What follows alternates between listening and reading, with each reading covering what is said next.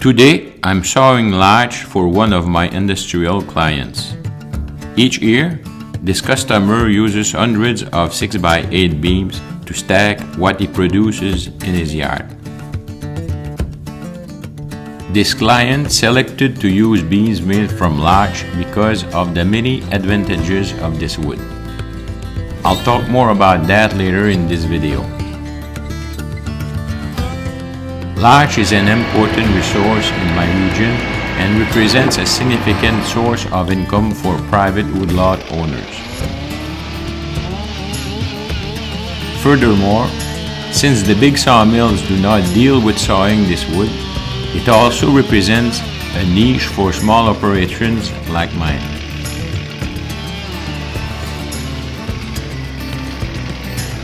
Each piece of wood has to be 98 inches long, so I made a yardstick that I use to cut the log before transferring it to the mill.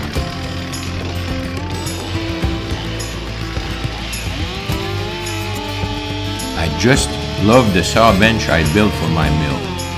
It's strong, adaptable, efficient, and costs almost nothing to build. To learn more about building this bench and see how I take it apart and put it back together in no time, I invite you to watch this video.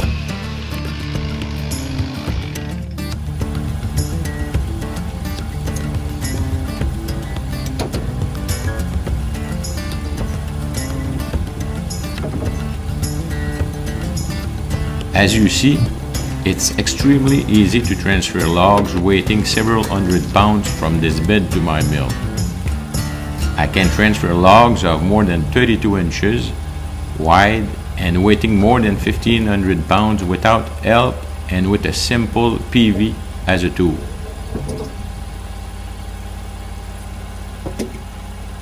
Once on the mill bed, I can easily manipulate the logs with the different hydraulic options of my mill for a minimum of forcing and a maximum of efficiency.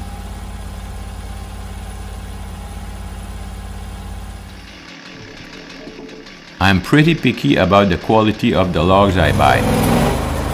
Among other things, I don't buy a log smaller than 10 inches at the small end.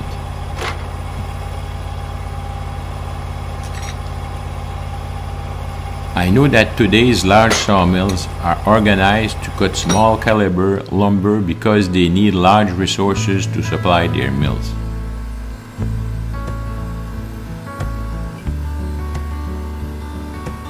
Personally, I favor a more traditional approach where the wood is selectively harvested as it matures and therefore gives us more bang for our buck while respecting nature's production capacity.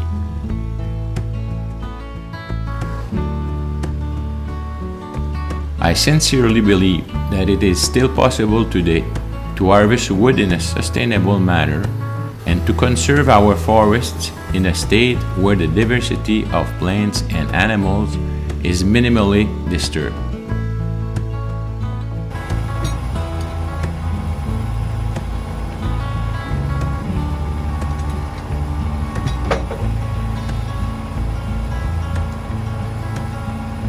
With large logs, I can produce the beams for my customer and get out plenty of lumber for my woodworking projects.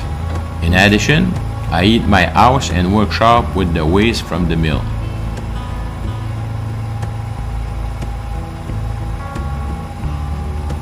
I should be able to produce two 6x8 beams with this log, and that's not counting 2 inches planks, boards, and firewood.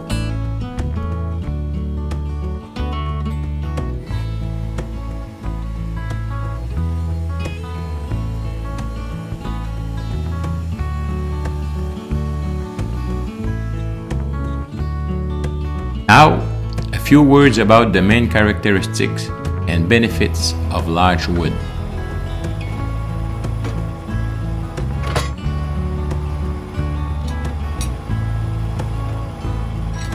Larch is known for its high density and resistance to decay, making it perfect for use in outdoor structures.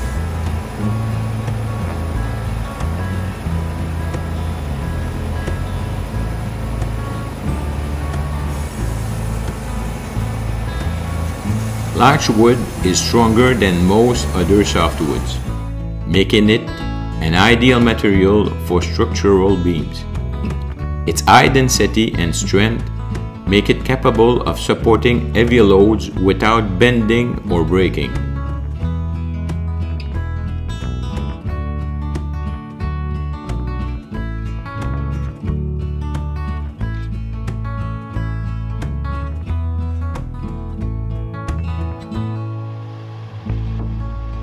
Larch wood is naturally resistant to decay and rot, making it a great choice for outdoor structures that are exposed to the elements.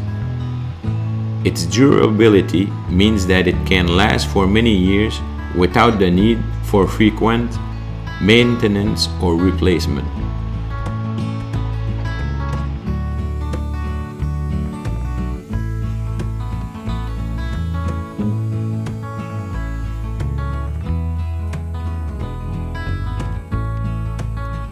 Larch is also known for its stability and resistance to warping or shrinking.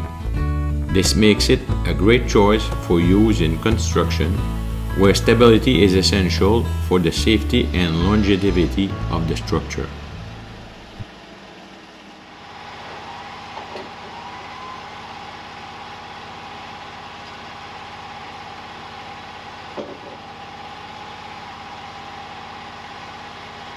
Larch wood has a beautiful natural appearance that adds warmth and character to any structure. Its warm, reddish brown color and distinct grain pattern make it an attractive choice for both indoor and outdoor use.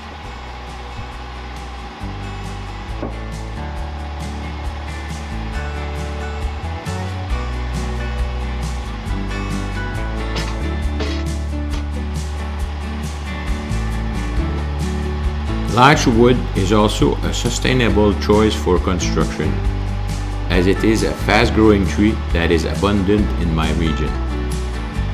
It is also a renewable resource, as new trees will rejuvenate naturally to replace those that are harvested.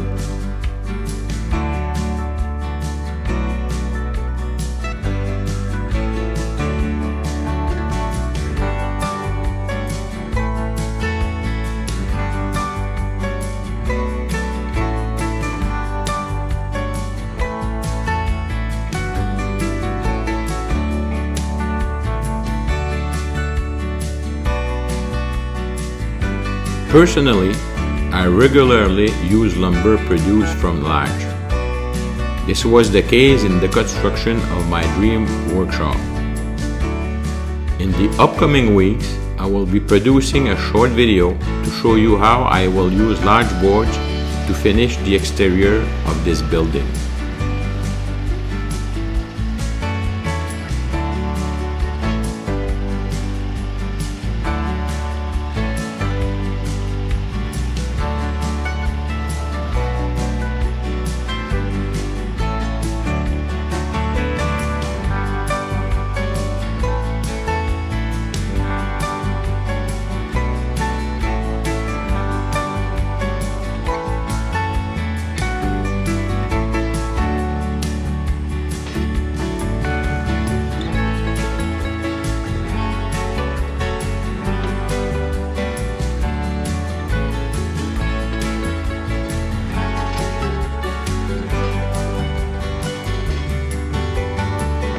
If you like this video, I ask you to consider subscribing to my channel and signifying your approval by giving it a thumbs up.